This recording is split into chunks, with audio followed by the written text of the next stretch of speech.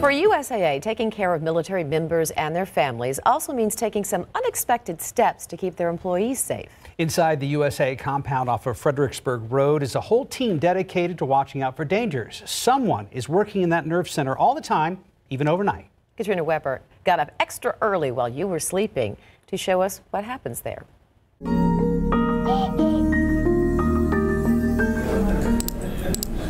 Copy that. If their work was weather, you might say this team is in a bit of a drought right now. But at any point, trouble could rain down. You just never know what you're going to deal with, so you always got to kind of be on your toes and expect the unexpected. That thought is always on the minds of Renee Martinez and everyone else at the Unified Command Center at USAA.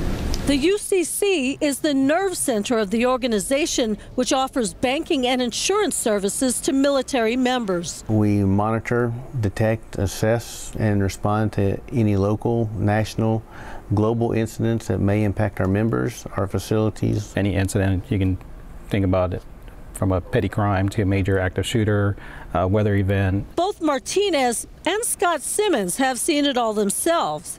They each had a previous career in the military, which prepared them for what they do now.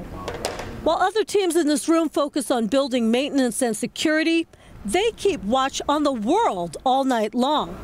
At the sign of a serious threat, they send out warnings telling others in the company to watch out. With this tool, we can reach all our employees with a matter of, of, a minute. From this one center, the staff not only monitors what's happening around the world, they also know where to reach their people. Whether they're at home, in planes, trains, or automobiles, they can get in touch with them. Time is a factor in any crisis. Lives can depend on what they do here so they have to stay alert. We do get time to go, you know, go for a walk, go for the go to the gym, just kind of keep that blood flowing. Simmons remembers one night when he prevented blood from being spilled.